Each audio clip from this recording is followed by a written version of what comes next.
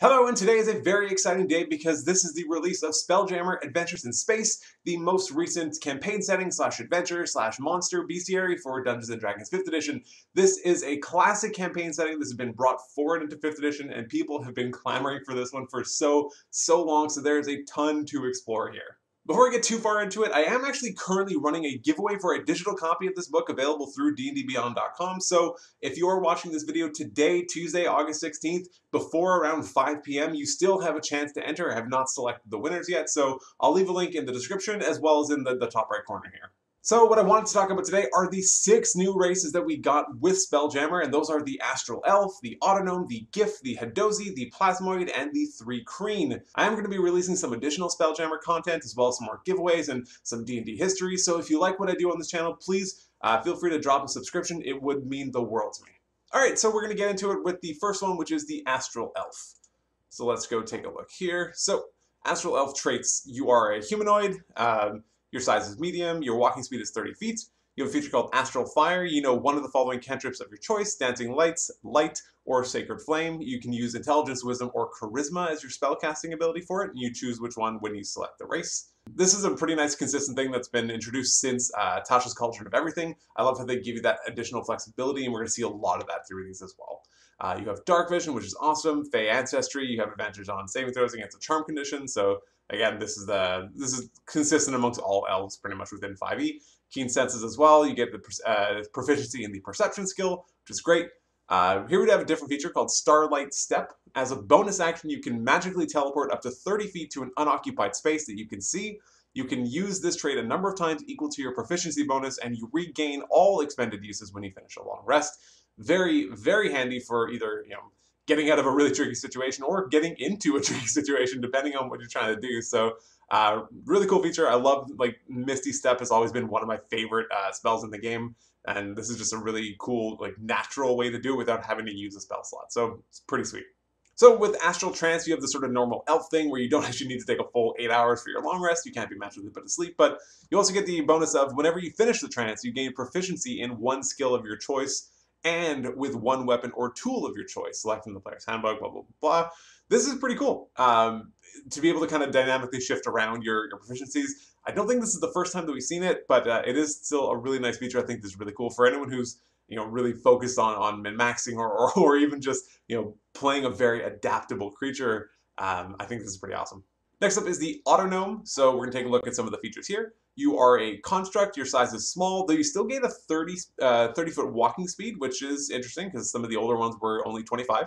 Uh, you have armored casing. You are encased in a thin metal or some other durable material while you aren't wearing your armor. Your base AC is 13 plus your dex modifier. Honestly, that's pretty sweet. Kind of makes contextual sense as well, given that they are made from sort of metal or steel or something. Pretty awesome. Uh, a feature called Built for Success, you can add a d4 to one attack roll, ability check, or saving throw that you make, and you can do this after seeing the d20 roll, but before the effects of the roll have been resolved. You can then use this a number of times equal to your proficiency bonus, and you gain all expended uses when you completed a long rest. It's pretty cool. This is like a mini self-inspiration that you can only do, obviously, proficiency time bonuses per long rest, which you know, at, at, higher levels, if anyone ever really gets there, you, it's a maximum of six times a day, which is pretty cool, you know, to be able to add a potential D4, but even twice a day in the early levels or three times is pretty sweet. Next up is Healing Machine. It says, if the mending spell is cast on you, you can spend a hit dice, roll it, and regain a number of hit points equal to the roll plus your constitution modifier to a minimum of one hit point. In addition, your creator designed you to benefit from several spells that preserve life, but that normally do not affect constructs. Cure Wounds, Healing Word, Mass Cure Wounds, Mass Healing Word, and Spare the Dying. This is a nice little touch because this wasn't really always consistent in some of the older kind of iterations on these things, so it's nice to see that like, you know, officially codified into um, sort of into the actual race feature itself. That's pretty cool. It also just helps logistically for the party. You don't have to have someone carrying mending around just for the sake of healing their uh, their autognome. Um, so it just it's a little bit of a convenience feature to be honest, but it's nice to see. Your mechanical nature, you have resistance to poison damage and immunity to disease, and you have advantage on saving throws against being paralyzed and poisoned. You also do not need to eat, drink, or breathe. This, honestly, again, just makes sense. There's no reason why they would need to eat, drink, or breathe.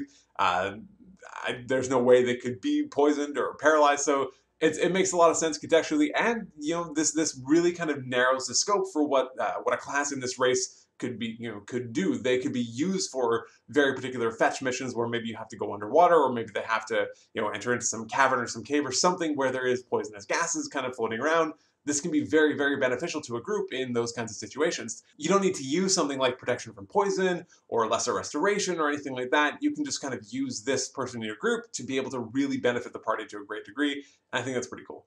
Next up is Sentry's Rest. It says, when you take a long rest, you spend at least six hours in an inactive, motionless state instead of sleeping. In this state, you appear inert, but you remain conscious. So presumably you are aware of your surroundings, but again, it's interesting that it's six hours, uh, so you're kind of threading the threading the middle between the sort of elves four hours and the normal eight hours, so you need a little bit less. I don't really know how much of a mechanical difference it's going to make. The ability to remain conscious is potentially useful, so that's kind of nice.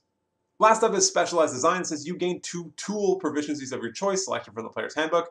I think this is really cool. I actually really like the recent uh, emphasis and focus on tool proficiencies for, for races and classes and things like that. Because there hasn't really been that much of a focus on it. You know, we did get some expansion of, of the tools rules in Xanathar's Guide to Everything, but there hasn't really been much since then. And, and I feel like it's a really underdeveloped aspect of 5e. So I think it'd be really cool if we got more of that in the, the 2024 update to the player's handbook, whatever, whatever sort of form that takes or whatever that looks like. I think there's a lot of room to kind of grow and expand what we consider uh, useful for, for tool proficiencies.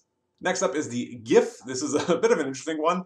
These kind of like hippo looking people, so let's take a look here.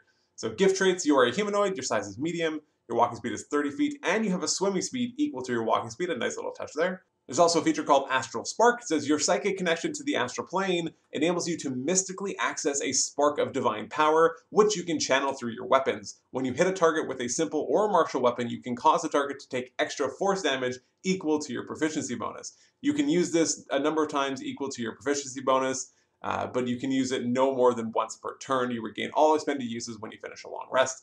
This is honestly really cool. At first, when I read it, I didn't realize that second paragraph where it talked about uh, proficiency bonus times per day. I'm like, this is just awesome. It's at a minimum of a flat two force damage every single turn, which is pretty cool. But obviously, there is a limited use. But you know, still being able to use it two, three, four times for most characters per long rest is probably going to be more than enough. And that's just a nice little consistent bonus damage. And almost nothing is resistant to force damage, so it's nice to see, and it's pretty sweet.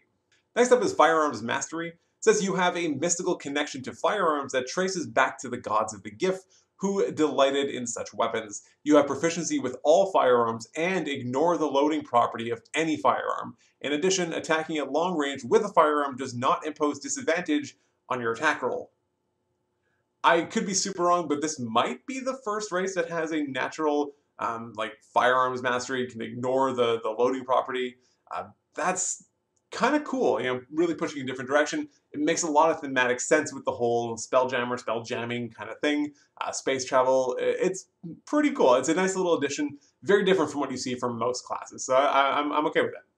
Last up is the last up is Hippo build. This is you have advantage on strength-based ability checks and strength saving throws. In addition, you count as one size larger when determining your carrying capacity and the weight that you can push, drag, or lift.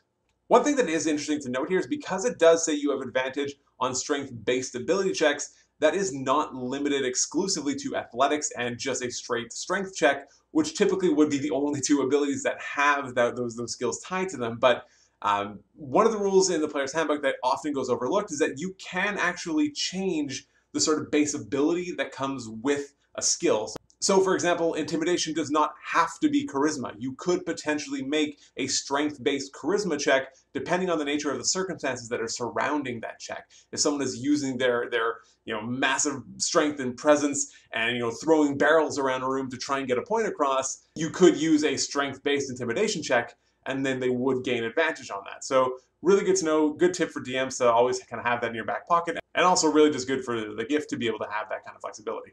Next up is the Hadozee or the Hadozee. I'm honestly not really sure how to pronounce it, but I'm going to go with Hadozee because I think it sounds kind of fun. Um, honestly, this is some pretty cool looking guys. Um, so let's take a look. Uh, your following racial traits. You are a humanoid. Your size is medium or small. You choose when you select the race. Your walk speed is 30 feet, and you get a climbing speed equal to your walking speed. Again, nice little touch. Not often that we do get climbing speed, so it's pretty cool. You also have dexterous feet. It says, as a bonus action, you can use your feet to manipulate an object, open or close a door, or to pick up or set down a tiny object. That's kind of fun, really, really specific, but if your hands are tied and bound, this gives you another potential avenue for escape or to do something that you might not otherwise be able to do. So it's a nice little touch that we get to see the, the races kind of distinguishing themselves from each other a little bit more. Next up is Glide. It says if you are not incapacitated or wearing heavy armor, you can extend your skin membranes and glide. When you do so, you can perform the following aerial maneuvers. You can move 5 feet horizontally for every 1 foot you descend in the air at no movement cost to you. And when you would take damage from a fall, you can use your reaction to reduce the fall's damage to zero. This is super cool. Uh, also, this can let you potentially fly really far. If you're on like a 100 foot ledge or something, you could potentially go 500 feet without using any movement at all. I mean, yeah, it would take a while, but it's still pretty cool. And just being able to completely ignore any kind of fall damage, um, that's awesome. Really, really cool feature. I love it. Lastly is Hadozee Resilience. Uh, the magic that runs in your veins heightens your natural defenses. When you take damage, you can use your reaction to roll a d6, add your proficiency bonus to the number rolled, and reduce the damage you take by an amount equal to the total minimum of zero damage.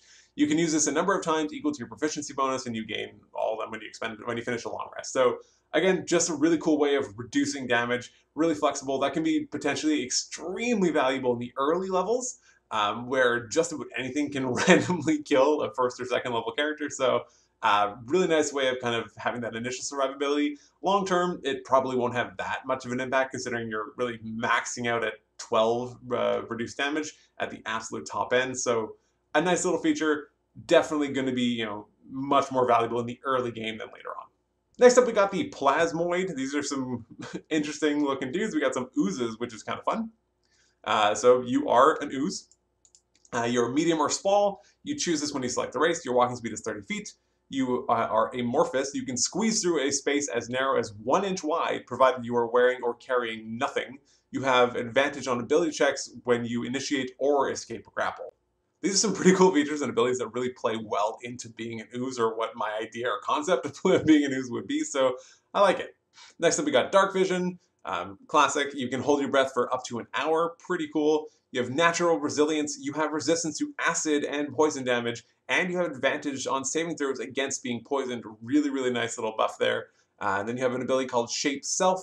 As an action, you can reshape your body to give yourself a head, one or two arms, one or two legs, and makeshift hands and feet, and you can revert to a limbless blob. While you have a human-like shape, you can wear clothing and armor made for a humanoid, humanoid of your size.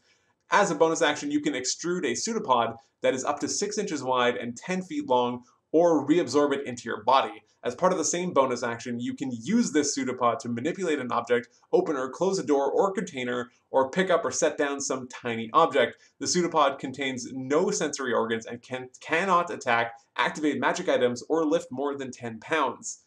This is honestly really cool. It's kind of like a, it's like a, a mage hand that's limited to, to 10 feet, but Again, it just gives you some additional flexibility to be able to do something that doesn't require casting a spell to help you know aid in escapes or, or provide someone to your party that you might not otherwise be able to do. So really cool features again that are just helping to distinguish uh, the races from each other. Really awesome. Love to see it. Last up, we have the Thri-Kreen. I'm going to pronounce it that way. And uh, these are kind of like insectoids. So let's check this out. Uh, you are a monstrosity. I think that tracks. You are a medium or small. You choose when you select it. Your walking speed is 30 feet. Um, you have Chameleon Carapace. When you aren't wearing armor, your Carapace gives you a base armor class of 13 plus your Dex mod, which is honestly quite reasonable. As an action, you can change the color of your Carapace to match the color and texture of your surroundings, which gives you advantage on dexterity stealth checks, as well as to hide in those surroundings. You have Dark Vision. You also have secondary arms. You have two slightly smaller secondary arms below your primary set of arms. The secondary arms can manipulate an object, open a door, close a container, pick up or set down a tiny object, or wield a weapon that has the light property. It's interesting we've seen so many of these different ways to kind of move things around and, and, and you know manipulate objects around you. This is the first one that can actually attack, so that's kind of cool, but I, I like this, I like kind of where they're heading with this. You know, again, just giving different ways of interacting with the world around you I think is really awesome. Uh, next up is Sleepless. You do not require sleep and can remain conscious during a long rest, though you must still refrain from strenuous activity to gain the benefit of the rest. This is interesting in that it does sort of suggest that you also don't need to be kind of like meditating uh, like an elf, that you can kind of walk around and do things. As long as it's not strenuous activity, you can fully be awake for the entire period of a rest. So honestly, that's pretty cool. I think that's the first time we've seen anything like that. Lastly is Thri-Kreen telepathy. It says, without the assistance of magic, you can't speak the non-Thri-Kreen languages that you know.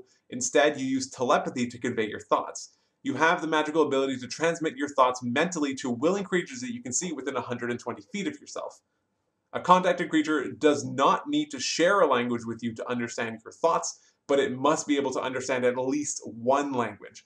Your telepathic link is to a creature is broken if you and the creature are more than 120 feet apart, if either of you is incapacitated, or if one of you mentally breaks the contact, no action required.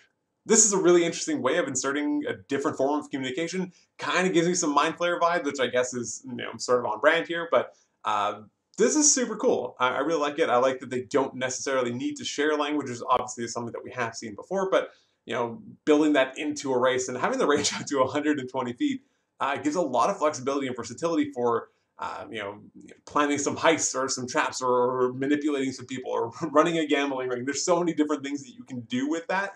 So I think that that's really cool. It's an awesome uh, little feature to see here. So that's it. That is the look at the six new races that we got within Spelljammer Adventures in Space. As you can see, this is a pretty long book with, well, three separate books really. So I am going to be publishing a full review on it, hopefully within the next couple of days. So stay tuned for that. Make sure you enter the giveaway if you're seeing this today before 5 p.m. Eastern as well. Uh, but otherwise, take care.